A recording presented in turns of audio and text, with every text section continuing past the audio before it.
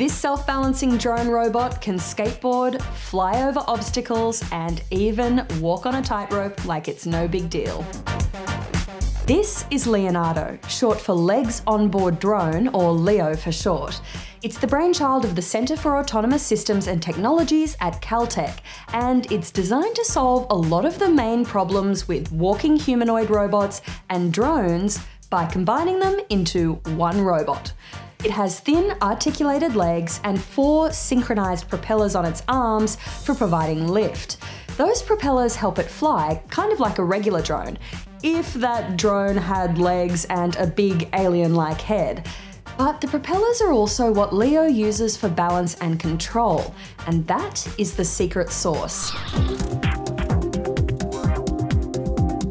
To the team at Caltech, there are plenty of robots that just fly or just walk. Think of, for example, the robots from Boston Dynamics that are shaped and designed to look like sturdy walking machines. But according to the researchers, walking robots aren't always able to handle obstacles or rough terrain. Drones solve that problem by flying over the obstacles, but they also have limitations when it comes to the power required to keep them airborne and how much they can actually carry. Leo aims to fix those problems by building walking and flying into one machine, as well as creating a type of hybrid movement that's somewhere in between the two. Special sensors built into the feet of the robot can detect when Leo is making contact with the ground. That information is then synchronized with the propellers so the robot can switch between walking and flying modes. But it's not just about switching from walking to flying. The combination of those articulated legs and the propellers on the arms of the robot make Leo really nimble and agile. The team drew inspiration from birds that hop or flap to stay steady on telephone wires.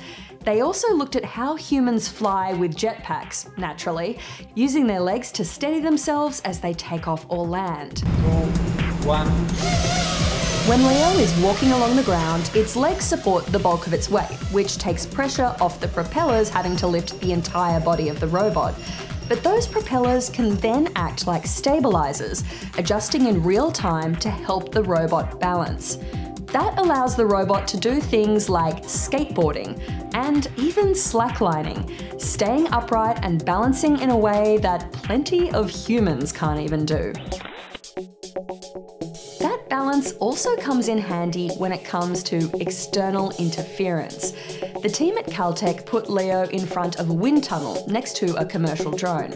When the wind picked up, the drone blew away, but Leo stayed upright thanks to friction contact with the ground. The researchers also conducted what they called applied perturbation experiments, or what we'd call everyone's favourite activity, poking the robot with a big stick. Even with that kind of force, the propellers helped the robot stay upright. So, why do you need a hybrid walking flying robot? Well, I mean, everyone needs a hybrid walking flying robot, but the researchers say this kind of robotic device could be used in situations where it's too dangerous for humans to go. They could fly up to telephone wires and balance on the line to make repairs, or even do inspections in hard to reach places like tall bridges or the roofs of buildings. And if Leo starts to fall, it can just fly itself to safety. The team at Caltech began developing the Legs on Board drone robot in 2019 and say there are still plenty of features they'd like to add. That includes making Leo more autonomous so it can make its own decisions about when to use its legs to walk, or when to use its propellers to fly, or when to use a combination of both. As for what's next? Well, the researchers say this technology could be used to help develop adaptive landing gear systems for flying vehicles and robots. One day, they say we could even see this kind of self balancing, walking slash flying technology in aerial vehicles sent to Mars. Essentially, anywhere you have a robot that needs to navigate tough terrain or make difficult aerial landings. But even without these very scientific and practical applications, I think there's one area of demand that Leo could definitely fill. I, for one, want to see a robot take on Tony Hawk. Alright, what do you think? Is Leo the kind of hybrid robot you could see solving problems in the future? Let me know in the comments below, and if you want to check out more amazing futuristic robotic tech, take a look at these other videos from What the Future. Until next time, I'm Claire Reilly for What the Future, bringing you the world of tomorrow today.